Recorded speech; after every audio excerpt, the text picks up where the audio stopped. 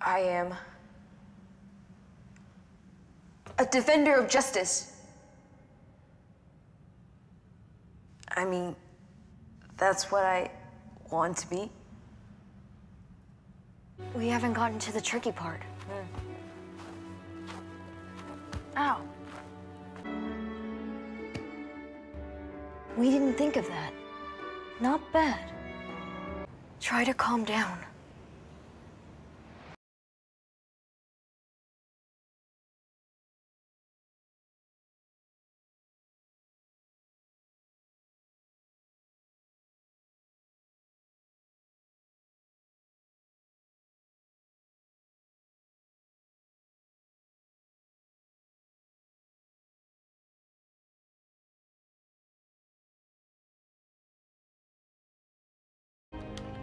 We'll guard Kumi carefully. No.